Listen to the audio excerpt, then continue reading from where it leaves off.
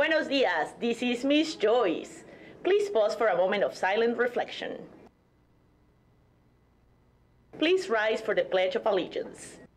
I pledge allegiance to the flag of the United States of America and to the republic for which it stands, one nation, under God, indivisible, with liberty and justice for all. Que tengan un muy bonito día.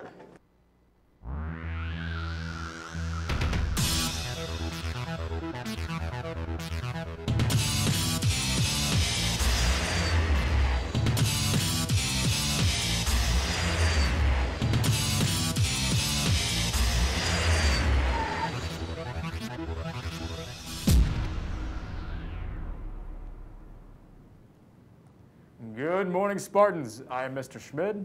I am Mrs. Leon. And welcome to SNN. Today is Monday, September the 21st.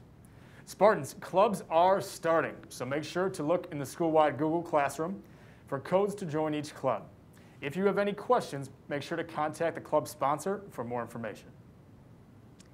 Today is the International Day of Peace. Since 1981, the United Nations General Assembly has marked its opening day with the International Day of Peace a day devoted to strengthening the ideals of peace, both within and among all nations and peoples.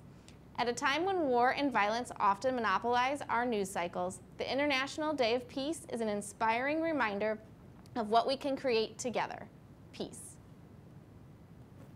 All right. Thanks, Spartans. That's all we have for today. As always, remember to be safe, respectful, responsible everywhere you go. And as always, remember to be frost strong.